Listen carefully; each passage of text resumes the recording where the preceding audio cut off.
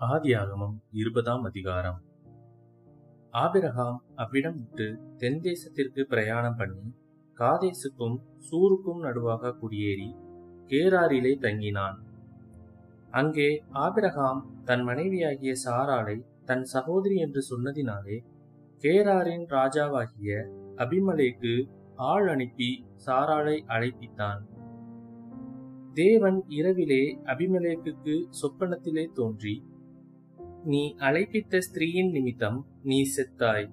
அவள் ஒருவனுடைய மனைவியாய் இருக்கிறாளே என்றார். அபிமலைக்கு அவளை சேராதிருந்தான். ஆகையால் அவன் ஆண்டவரே நீதியுள்ள ஜனங்களை அழிப்பீரோ? இவள் தன் சகோதரி என்று அவன் என்னோடே சொல்லவில்லையா?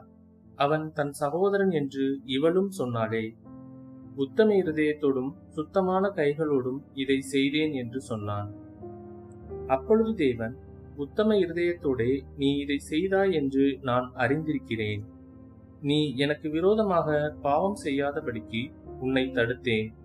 ஆகையால் நீ அவளை தொட நான் உனக்கு இடம் கொடுக்கவில்லை. அந்த மனுஷனுடைய மனைவியை அவனிடத்திற்கு அனுப்பிவிடு. அவன் ஒரு தீர்க்க தரிசி நீ பிழைக்கும்படிக்கு அவன் உனக்காக வேண்டுதல் செய்வான்.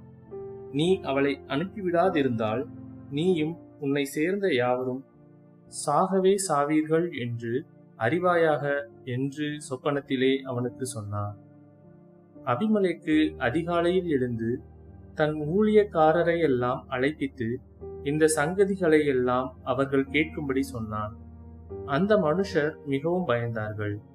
அப்பொழுது அபிமலைக்கு ஆபிரகாமை அழைப்பித்து நீ எங்களுக்கு என்ன காரியம் செய்தாய்? நீ என்மேலும் என் ராஜ்யத்தின் மேலும் கொடிய பாவம் சுமர பண்ணுகிறதற்கு உனக்கு நான் என்ன குற்றம் செய்தேன்? செய்யத்தகாத காரியங்களை என்னிடத்தில் செய்தாயே என்றான். பின்னும் அபிமலைக்கு ஆபிரகாமை நோக்கி என்னத்தை கண்டு நீ இந்த காரியத்தை செய்தாய்? என்றான்.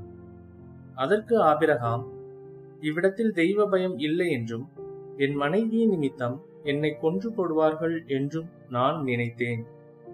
அவள் என் சகோதரி என்பதும் மெய்தான் அவள் என் தகப்பனுக்கு குமாரத்தி என் தாய்க்கு குமாரத்தி அல்ல. அவள் எனக்கு மனைவியானாள்.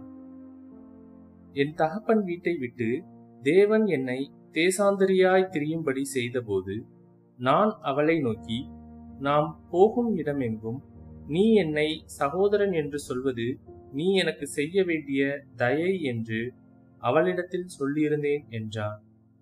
அப்பொழுது அபிமலைக்கு ஆடு மாடுகளையும் வேலைக்காரரையும் வேலைக்காரிகளையும் ஆபிரஹாமுக்கு கொடுத்து அவன் மனைவியாகிய சாராளையும் அவனிடத்தில் திரும்ப ஒப்புவித்தான். பின்னும் அபிமலைக்கு இதோ என் தேசம் உனக்கு முன்பாக இருக்கிறது. உன் பார்வைக்கு சம்மதியான இடத்திலே குடியிரு என்று சொன்னான்.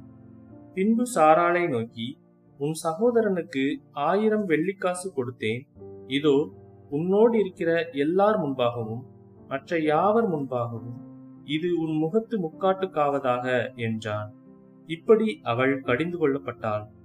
ஆபிரஹாமுடைய மனைவியாகிய சாராளின் நிமித்தம் கத்தர் அபிமலைக்குடைய வீட்டாரின் கற்பங்களை எல்லாம் அடைத்திருந்தபடியால் ஆபிரஹாம் தேவனை நோக்கி வேண்டிக் கொண்டான். அப்பொழுது தேவன் அபிமலைக்கையும் அவன் மனைவியையும் அவன் வேலைக்காரிகளையும் குணமாக்கி பிள்ளை பெறும்படி அனுக்கிரகம் பண்ணினார். ஆதியாகமம் இருபதாம் அதிகாரம் முடிந்தது.